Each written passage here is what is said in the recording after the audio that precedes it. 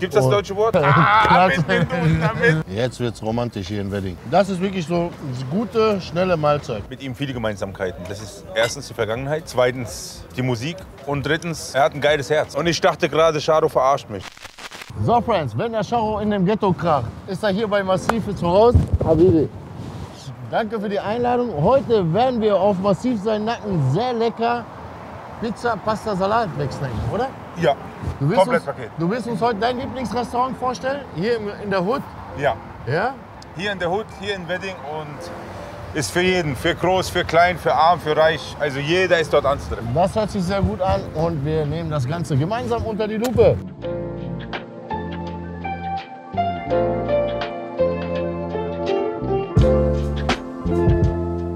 Massiv, Pipasa, Ein legendärer Laden hier in Wedding. Wedding, Amrumer Straße Amrumer Straße 7, glaube ich. 7, Nee, 10. 10. Amrumer Straße 10. in Genau an der U-Bahn-Station. Genau da an der U-Bahn-Station. Der Tristan zeigt euch gleich noch mal ein, zwei Bilder. 350 Meter Luftlinie entfernt von Leopoldplatz, vom Herz von Wedding. Äh, ein Laden für arm und für reich, für jedermann. Und hat wirklich mit Abstand die besten Nudeln in Berlin. Nach deinem. Nudeln? Nudeln, du hast doch diese verbrannten Spaghetti. Du hast doch davon geschwärmt. Das war Die sind von Mama. Ah, da war, da war, da war, da war. Bekomme ich natürlich nicht so gut hin, aber die essen wir auch irgendwann zusammen. Die werden wir safe auch machen. Und äh, was ist hier dein Favorite-Gericht? Äh, Pipasa heißt das Gericht. Pipasa Tagliatelle äh, mit leicht scharf für mich. Fleischscharf. Mit Ja. normaler äh, Schärfe ist für dich. Tamam. Hört sich gut Genau. an. Bisschen äh, Parmesan drüber. Mhm. Feierabend. Dein Café ist ja auch nicht ganz weit äh, weg von hier. 75, 75 Meter Luftlinie. Genau, zwei, ein, zwei Minuten Fußgang. Und dich trifft man dann auch öfters hier. Ja, wiederum bestellen wir aus dem Laden auch manchmal äh, von hier und die bringen es uns. Das geht auch relativ schnell. Oder man läuft halt bei gutem Wetter immer schön her. Jetzt hat es gerade aufgehört zu regnen. Wir sitzen hier Mitten auf der Straße. un unbedacht. Ja. Ja. Unbedacht, genau. Gibt es das deutsche Wort? Unbedacht? Den Nudeln damit. Jugendwort des Jahres. So, Habibi, dann lass uns doch vorschlagen. Gibt es Vorspeise oder gibt es nur bei dir ein Gericht? Das eine Gericht. Bruder, das ist kein Drei-Gänge-Menü. Das ist ein, ein, äh, ein Essen, was dich satt machen soll. Und danach gehst du weiter auf die Baustelle. Ja Allah. Bismillah. Genau. Bismillah. Bestellen wir, wa? Bestellen wir, ja. Ich bestell, wa? Du bestellst. Bruder, ich übernehme das Bestellen, ja? Okay. Äh, Pipasa Tagliatelle. Ja, Hähnchen Brokkoli von Boscha. Genau. Bei mir ein bisschen scharf, bei ihm so scharf, wie ihr es äh, traditionell macht. Okay. Und äh, ein kleiner Teller Parmesan dazu, Bruder. Und wenn du hast, vielleicht noch mal so ein paar Pizzabrötchen als Vorspeise. Habt ihr sowas nicht gemacht ohne Vorspeise? Bruschetta, wenn du magst. Bruschetta? Ja, Bruschetta. Diese, er will diese Harakat, Bruder, Ja, fürs Internet. Und äh, zwei Cola Zero. Ja, Mann, das ist eine gute Idee. Kennst du das? Äh, 20 Cheeseburger und eine Cola Zero? Ja, 12 Cheeseburger und eine Cola Light. Ja, aber es ist, wieder, also ist wirklich so. Äh, selbst wenn ich Cheat Days habe, jetzt zum Beispiel sonntags, wenn ich dann wirklich reinhaue, trinke ich trotzdem äh, Zero-Getränke. Das ist bei mir auch so. Ich bei bin schon da drüber, also. Ja, ich reg mich manchmal auf. Manchmal sage ich zu meinem lieben Flo von mir, hol mir mal eine Coke Zero. Und der macht das immer in Affekt und stellt mir immer eine Originale hin. Um dich. Weiß ich nicht, warum der das macht. Warum machst du das, Flo? Gute Frage. Er will dich als. Freund verlieren. Der er tut alles dafür. Oder der will mich wieder so in Form sehen. Aber du bist gerade in Form, wa? Jetzt gerade bin ich gut dabei. Wie ist Ja, das super. dir? Super. Also ich bin jetzt äh, von letztes Mal, wo ich bei Beast Kitchen war, Mhm. Da war ich 114,5. Jetzt bin ich 101. Wow. Ja, ja. Wow. Ich Ja, bin richtig, richtig runtergeschreddert. Ja, ja. Ich muss auch sagen, du bist wirklich einer der wenigen Künstler, der sehr früh aufsteht. Ja. Also ich habe eine, inne, äh, eine innere Uhr, jeden. Tag um 6 Uhr, 6.30 Uhr. Also Ich sogar wenn ich um 4 Uhr ins Bett gehe, wenn ich von Reisen komme oder so, 6.30 Uhr bin ich wach. Das sehe ich immer wieder. Und dann, wenn ich dich erreichen will, sage ich immer, ich rufe da am besten 8 Uhr morgens an. Das tut mir auch leid. Er ruft mich dreimal an, dass ich Nein, Mann, im ne? Gegenzug einmal zurückrufe. Nein, alles Aber gut. ich versuche mir das immer zu, zu notieren. Beim Training lasse ich mich auch ungern stören. Ja? Ja, ja. Aber ich weiß, beim Training, der ist jetzt gerade da, jetzt kann ich den erreichen. Ja. Habibi.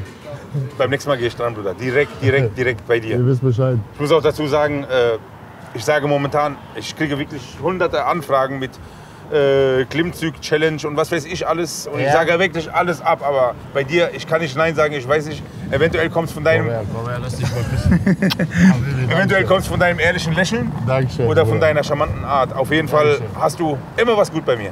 Danke, danke. Immer. Ich küsse deine Augen. Habibi. Danke, Habibi. Das ist sehr schön zu hören. Das geht gerade runter wie Butter, wirklich, wie Öl. Vielen, vielen Dank. Palästinensisches Öl. Palästinensisches Olivenöl. Olivenöl, genau. Mit handerlesenen Oliven. Legst du darauf Wert? Also erkennst du den Unterschied bei Olivenöl? Nein. Ich bin da raus. Olivenöl, doch, gutes Olivenöl Also man. ich habe mal das beste Olivenöl probiert und dann nebenbei das Olivenöl probiert, was meine Mutter in ganz normal Labne reinmacht. hat. Ja, Und das beste Olivenöl war dann für mich so, so bittermäßig. So. bitter und, scharf. Ja, also ich habe, ich hab jetzt, geil. äh, es hat mich jetzt nicht auf die, Pa- äh, also Das ist geil. Und guck mal, so hochwertiges Olivenöl, nur ein bisschen auf dem Teller, Salz, Pfeffer, gutes Brot nur so und essen. genau. Mein, mein, mein Opa frühstückt seit äh, 50 Jahren jeden Morgen äh, äh, einen kleinen Teller Olivenöl, äh, bisschen Satar neben dran und äh, mit Löffel. Er macht den Löffel in Olivenöl und Ohne Brot? ohne Brot und tunkt das in Satar Ja. und ähm, so. Bei uns sagt man, bei mir im Elternhaus, bei, im Elternhaus sagt man, Satar ist auch gut fürs Gehirn. Ja. Ja, ja. Äh, ist so Ja. ein Wunderding. Ja, ja. Da gibt viele. Von der Natur aus haben wir wirklich sehr viel, viele Lebensmittel, die gute und heilende Kräfte haben. Genau, voll. Ja, Mann. Ich muss in die Küche. Ich wollte euch nicht unterbrechen, aber du Bitte? weißt. Ach so, du musst in die Küche. Ja, okay. Tristan muss in die Küche. Ihr wollt ja noch ein paar Bilder sehen. Wie das schöne Ganze schön zubereitet wird. Tristan, das ist jetzt dein Part.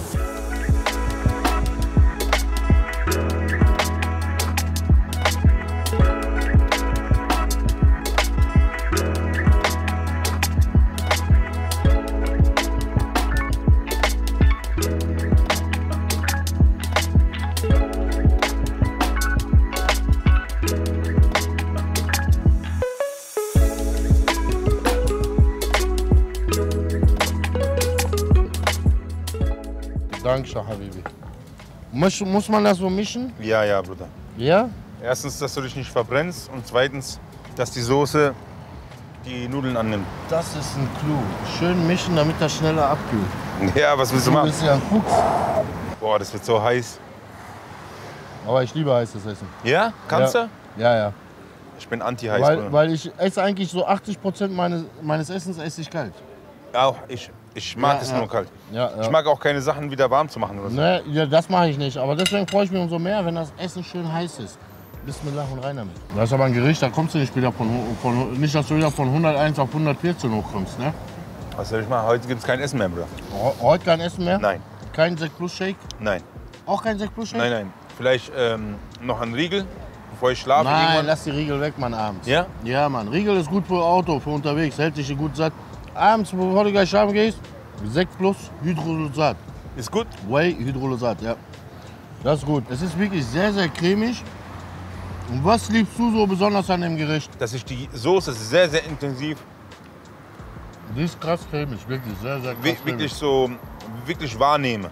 Mhm. Also die hängt nicht einfach nur drüber oder so. Wow. Jetzt wird's romantisch hier in Wedding. Parmesan? Gut so? Ja, ja, Bruder. Dann. An Cheat Day schmeiße ich das alles rein. Bruder. Ja, eine leckere Bruschetta. Mm. Die ist frisch, Mann. Die ist richtig frisch. Seit wann hast du hier dein Café? Jetzt schon ein Jahr. Seit einem Jahr. Ja. Und kanntest du diesen Laden auch vorher? Ja, natürlich. Ja? Ist äh, ein sehr bekannter Laden. Du bist auch einer der Künstler, was ich wirklich immer so richtig schön feier. Du bist in der Hut. Ich bin in der Hood und ich mag es nicht, äh, an Orten zu gehen, wo es, wo es darum geht. Äh, Sehen und gesehen werden.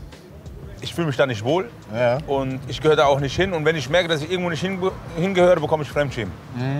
Und dann ziehe ich mich lieber zurück. Und dann gehe ich lieber nach Hause. Also ich, ich bin auch hier in Berlin wirklich nur an so Orten. Ja. Kann man sagen, hier Wedding ist dein Zuhause? Ja. Sehr schön. Und ähm, Wie ist bei dir, Bruder? Du bist überall, wa? ich bin überall. Überall, wo es Langusten Ich gibt. bin überall, aber ich, äh, Langusten oder Fischstäbchen, dir egal. ja, ja. Ich muss dir aber auch sagen, so, so ganz schicke Läden, so wirklich so krass schicke Läden, ist auch nicht so meins. Ich fühle mich unwohl. Weißt du, so, so wie du gerade gesagt hast, dieses Schamgefühl, fühle ich mich wirklich unwohl. Ey! Alles klar, Bruder Herz, wie geht's? Alhamdulillah, habe ich bei dir. Ach, la Shadow, Bruder Herz. Komm, Komm, schnapp dir was, Bruder. Ich hab gerade gegessen. komm. Eine Bruschetta von der Seite. Dankeschön. Ja, Mann. Guten Appetit, Bruderherz. Und? Fresh, ne? Sehr gut. Nice, Mann. Bester Mann. Das ist wirklich so eine gute, schnelle Mahlzeit. Voll. Ich hatte ja letztens auch so ein romantisches Treffen mit Manuelsen gehabt. Ja. Wirklich sehr nice. Bester Mann. Grüße gehen raus, Abub. Und ähm, da haben wir ein bisschen über das Album geredet. Mhm. Ich finde das sehr stark, dass man auch die Hood ja, und das Ghetto und nicht das Materielle in eurer Musik widerspiegelt. Und das zeigt Voll. wirklich auch, wie real ihr seid.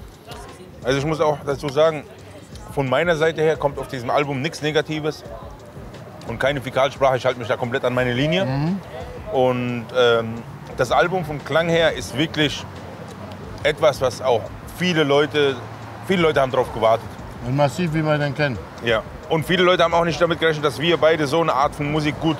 Das ist krass. Das habe ich dir letztens schon mal privat Ja, gesagt. hast du mir ne? gesagt, ja. Ne, war das man, dir und Manuel.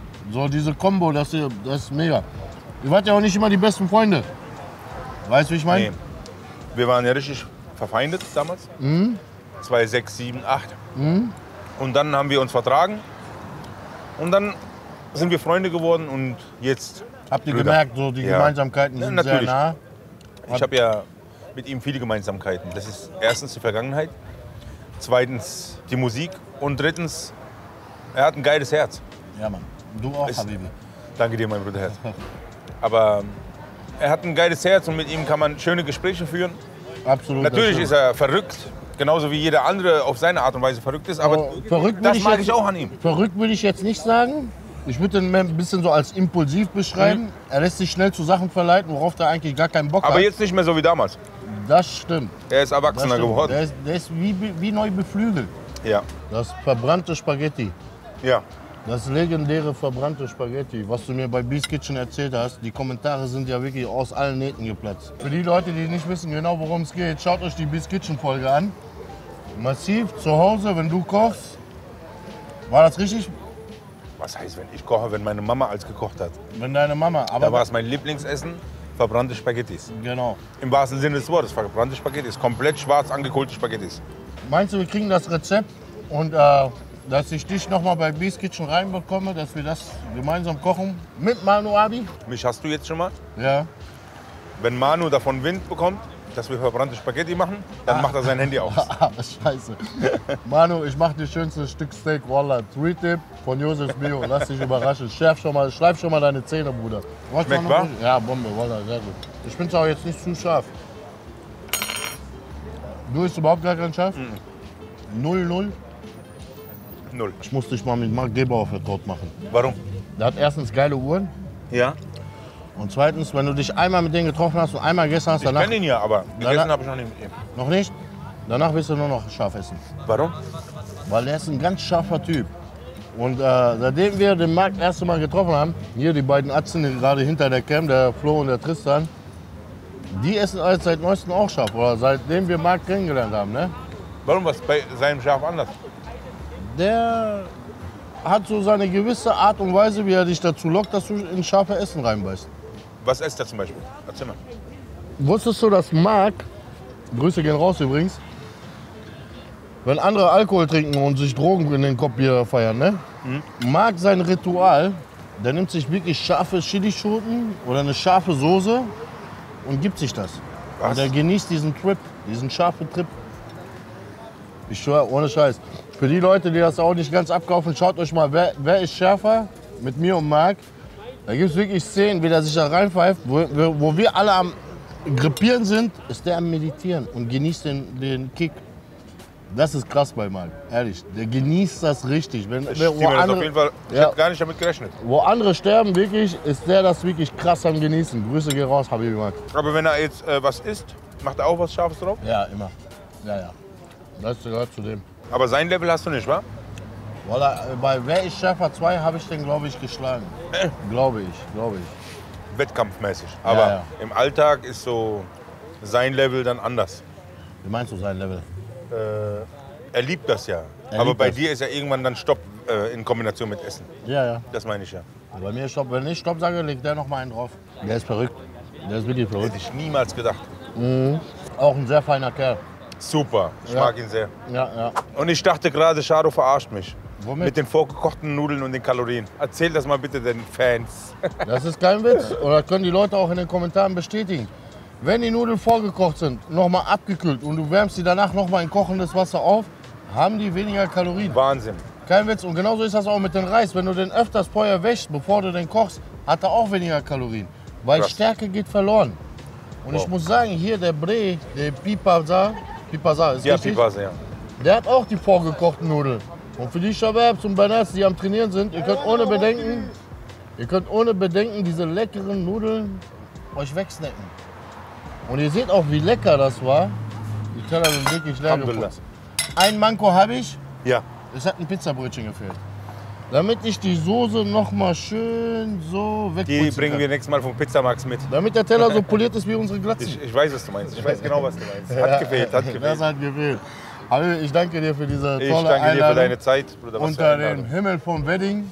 Ja, einmal die Cam hochhalten. Unterm bitte. Mond, der ins Ghetto gekracht ist, Ja, meine Mann. Freunde. Ja, Mann. Wirklich sehr, sehr, sehr, sehr romantisch hier in Wedding. Ich danke dir. Fehlt nur noch eine Kerze in der Mitte, wa?